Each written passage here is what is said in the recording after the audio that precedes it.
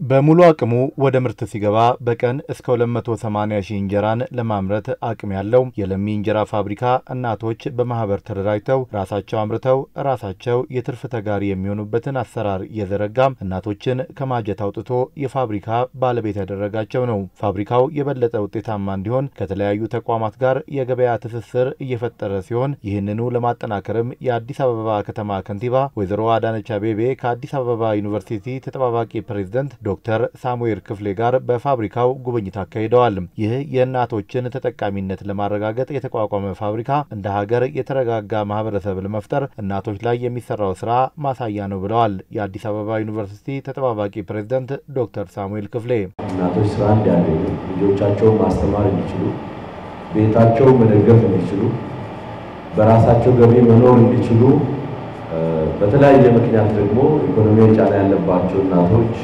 የገቢ ምንጭ እንዲያገኙ የሚሰራው ስራ የተረጋጋ ሀገር፣ የዳበረ ማህበረሰብ፣ ዲሞክራሲ፣ ሰላምን በዘላቂነት ለማረጋገጥ ስለሚረዳ ይሄንን ጉዳይ ከንግድ ባለፈ ከእንጀራ ገዢነት እና እናንተ አቅራቢነት ባለፈ የምንመለከተው ይሆናል።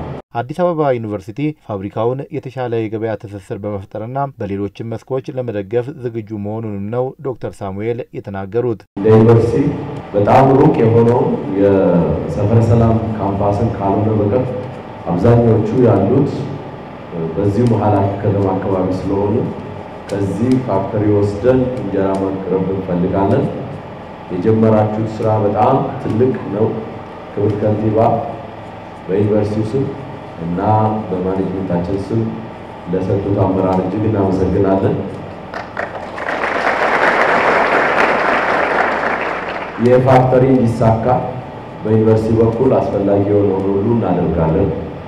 አንዳንድ የሚጎሉ ነገሮችም ካሉ እኛም ከተለመደው የቢሮክራሲ አሰራር አለፍ ብለን ለመደገፍ ይህ ፋክተሪ የተሳካ እንዲሆን በእኛ በኩል የሚያስፈልገውን ለማድረግ ቃል የምንገባ መሆኑን አረጋግጣለሁ። የአዲስ አበባ ከተማ ከንቲባ ወይዘሮ አዳነች አቤቤ ከጉብኝቱ በኋላም በፋብሪካው የስራ ዕድል ከተፈጠረላቸው እናቶች ጋር ባደረጉት ውይይት የእንጀራ ምርቱን የሚፈልጉ የተለያዩ ተቋማት እየመጡ በመሆኑ የተፈጠረውን የገበያ ትስስር ለመጠቀም ምርታማነትን ማሳደግ ይገባል ብለዋል። አየር መንገድ እስከዛሬ ከእናንተ ያልወሰደው ስራ አልሰራችሁ ነው። ገበያ ነበር። አየር መንገድን ራሴ ነው የለመንኩት እንጀራ ከዚህ እንዲወስድ ውል እስከሚፈርም ድረስ ተከታትለን ነው የሰራ ነው።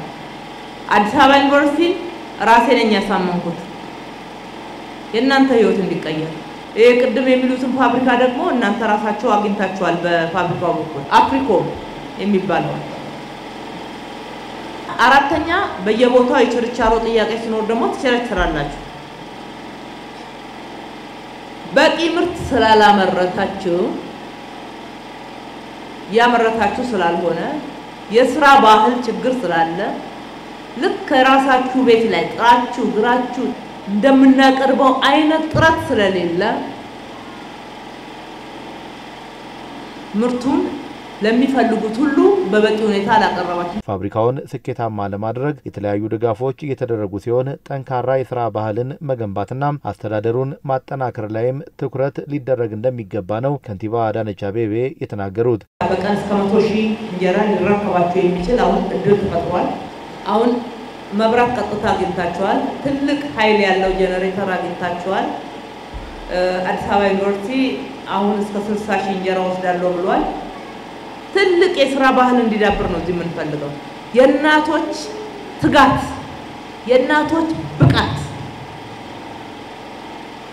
ያ ማህበረሰብ ውስጥ በቂ ዋጋ ያልተሰጠው እዚህ ዋጋ እንዲሰጠውና እንዴት ሰርተው መለወጥ እንደሚችሉ እድሉን ካገኙ ሰርተው ተለውጠው መለወጥ እንደሚችሉ ማሳያችን ነው። የከተማ አስተዳደሩ ተመሳሳይ የእንጀራ ፋብሪካዎችን በጉለሌና አቃቂ ቃሊቲ ክፍለ ከተሞች ገንብቶ ወደ ስራ ለማስገባት በሂደት ላይ መሆኑ ይታወቃል።